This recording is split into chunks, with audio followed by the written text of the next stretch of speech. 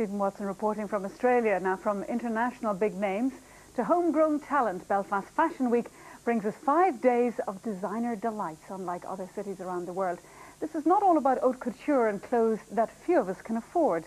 Pete Melly has a look at what's on the catwalk. Watch out, here I come. come, come, come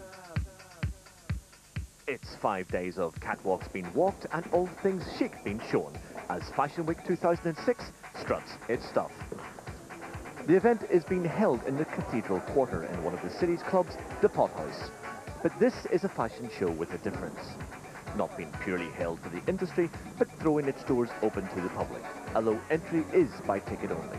Tonight we'll see this season's designs and fabrics shine to a room full of stars, followed by an after-show party that the organisers are predicting will launch the event into an even higher orbit. But where exactly does Belfast sit in the world of fashion? It's always been a big shopping city and we've always been into our clothing.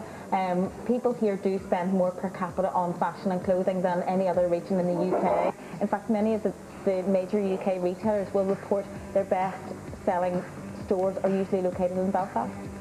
It's a week that organisers promise will offer something for everyone, regardless of their age. Pete Melly, BBC Newsline short skirts and bare legs there, not really the weather for it. And